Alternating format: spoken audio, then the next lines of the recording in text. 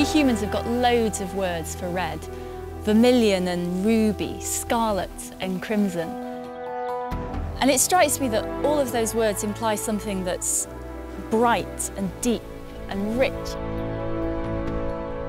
For us, red is the colour of love and the colour of war.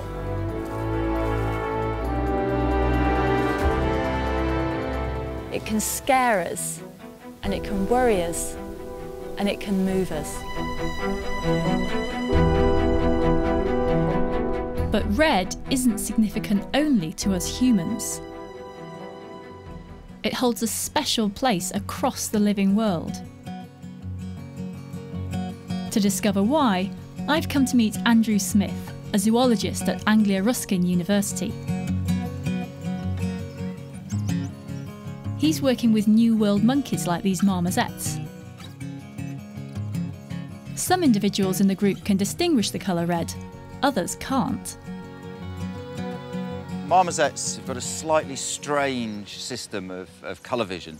All of the boys are red-green colour-blind, along with about a third of the females. And the remaining two-thirds of the females see the world in a very similar way to, uh, to ourselves. So within the same troop of monkeys, some have colour vision like ours and some have red-green colour blindness type vision and you can directly compare the difference. Yes. To discover the difference it makes if you can distinguish red and green, Andrew has set the monkeys a challenge. And I'm going to give it a try. I've got a pair of glasses which will uh, transform your vision from normal colour vision to, if you like, colour-blind vision. So if you'd like to put them on, we put some strawberries in the tree um, behind you. We've got some ripe and some unripe strawberries. And I'd like you to find all of the seven ripe strawberries as fast as you can. Ready to go? Okay, go. the world's gone very green. With the goggles on, I see the world as the colourblind marmosets do. Uh, there's one the ripe strawberries look very black here, so it's quite hard to pick them out against the dark trees and the dark background. Under here? Oh, there, right, right, I was looking too far forward. All right, so have I done the job? Seven, seven, seven strawberries, seven per strawberries. Perfect, you found, found them all and that took you one minute, um, 10 seconds.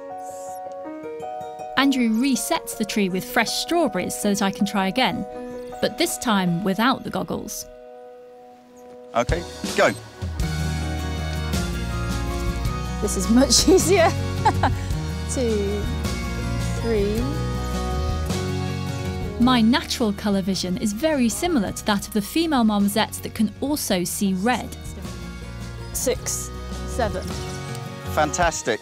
16 seconds. Huge yeah. difference. So that's an awful lot faster than the 1 minute 10 that it took you um, when you couldn't tell a difference between uh, red and green. Andrew's been carrying out experiments like this on monkeys to see how colour vision affects their ability to find ripe fruit. There's one just in the background there having a bit of a look. No, here we go, here we go, here we yeah, go. Yeah, this one's seen it. That one is sitting right on top of a ripe yeah. strawberry and not noticing it at all. After repeating the test hundreds of times, Andrew found a clear pattern. What we found is that all of the monkeys could do the task given enough time, but the uh, monkeys with human-like colour vision went straight for the ripe fruits. In the wild, being the first to find the food gives you a huge advantage. It can be the difference between life and death.